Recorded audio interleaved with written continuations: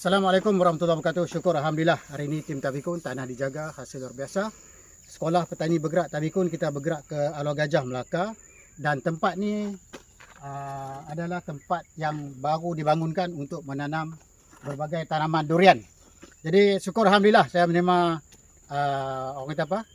Uh, welcome daripada uh, Datuk Abu hari ini dan Datuk Assalamualaikum Datuk. Salam Ji. Datuk sihat? Alhamdulillah sihat Ji. Hai. Alhamdulillah. Minta maaf lah pasal dia Datuk suruh main kebun banyak kali ya tapi tak sempat nak main. Tak apa masa Ji, masa Ji sibuk. No worries. Ah, okay. okey.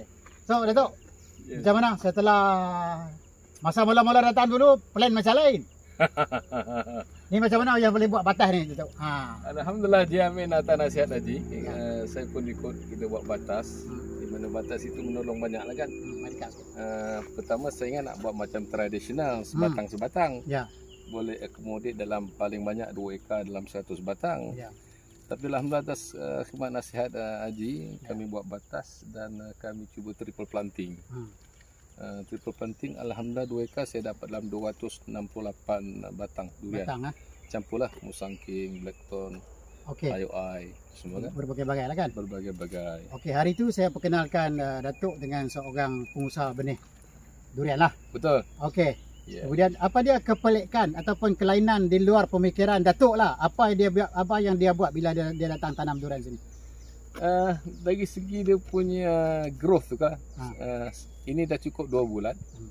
Dia punya naik tu cantik. Cantik kan? Uh, selama ni uh, dah, selama 2 bulan saya tidak tengok ada masalah yang besar lah kan. Ha. Uh, saya letak bajet tabikun setiap bulan Cantik kan? dan saya akan ikut arahan untuk membaca meracun pokok-pokok. Lah. Sekarang ni alhamdulillah yang mana dulu saya tanam 5 kaki sekarang dah 7 kaki. Ah, dalam masa dua bulan. Dalam masa 2 bulan.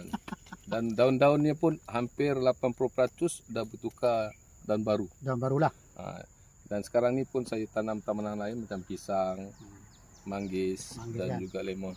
Okey. Datuk, satu lagi tu, masa dia orang datang tanam dulu ni, saya beritahu kat Datuk, kata Datuk nak tanam durian ni kita kena potong akar.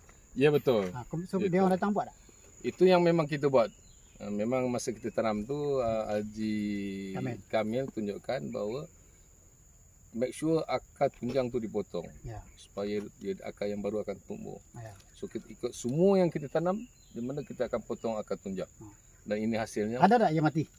tak ada. Tak ada mati. Ha. Ada. 100% yang kita 100%. tanam, kita potong akar. Ya. Dalam tempoh dua bulan ni kita tidak nampak pokok yang kita kata yang Yang- sakit lah. Yang sakit. Sakit lah. Ya. So Datuk, terima kasih banyak Datuk. Terima kasih Haji atas Ha. nasihat Alhamdulillah. dan baja insya-Allah. Ha? Baik, terima kasih. Kita jumpa lagi. Jumpa lagi Haji. Baik, baik. Terima kasih. Assalamualaikum. Amin.